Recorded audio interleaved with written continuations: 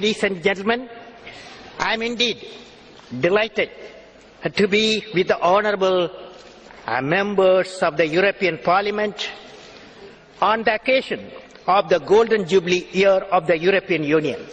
I am reminded of the dream of an Indian poet, Kaniyan Pungundranar, who articulated in 3000 years back in Tamil classic Purananur.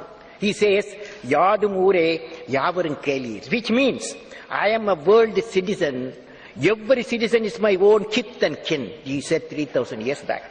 As we say in India, where there is righteousness in the heart, where there is righteousness in the heart, there is beauty in the character. When there is beauty in the character, there is harmony in the home. When there is harmony in the home, there is harmony, there is an order in the nation. When there is order in the nation, there is peace in the world.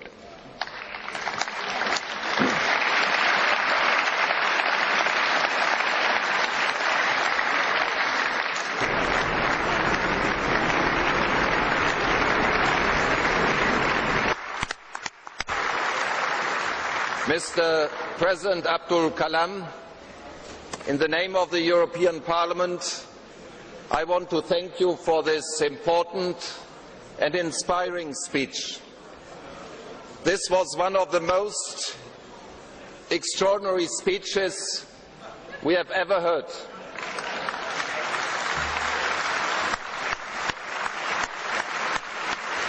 From a statesman, scientist and poet, this is unique.